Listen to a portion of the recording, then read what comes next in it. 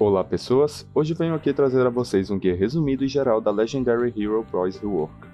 Seu método de aquisição é único, através da badge Legendary Hero no Book of Lore. Para adquiri-la, basta comprar quaisquer quantias de member, seja de um ou mais meses, que a classe ficará disponível na aba de Other Badges. Quanto a Enhancements, recomendo que usem Full Luck para focar em DPS e Fighter para focar em sobrevivência.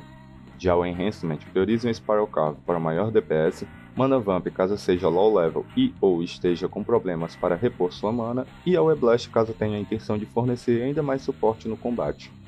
Quanto a conceitos, o principal dessa classe é vocês a usarem apenas no rank 10, que é quando a mesma estará no ápice do seu potencial. De combo, usem 3, 5, 4, 2. Após usarem o 5, basta repetirem o uso das habilidades 2, 3 e 4 até que ela recarregue. Em solos, o DPS dessa classe é baixo, já que a mesma só dispõe de duas habilidades que causam dano e apenas uma delas tem uma margem aceitável de valores. Não esperem que ela seja rápida em quaisquer combates. Quanto à defesa, mesmo dispondo de duas habilidades de cura e mitigação de dano, a mesma encara sérios problemas em monstros com danos medianos ou com habilidades problemáticas.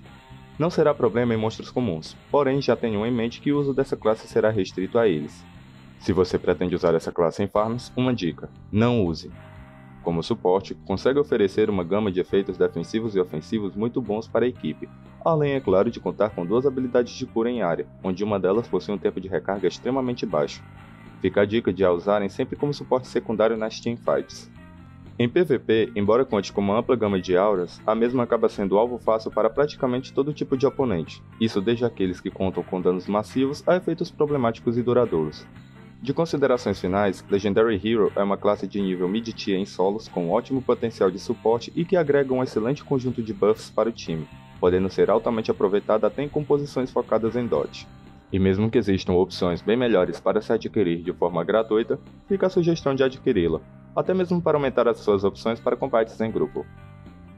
Com essas atualizações, agora temos mais uma excelente escolha de suporte para sairmos da mesmice da Lord of Order e Stone Crusher. Deixem nos comentários suas opiniões quanto ao guia e as mudanças da classe. Até mais e um bom jogo a todos!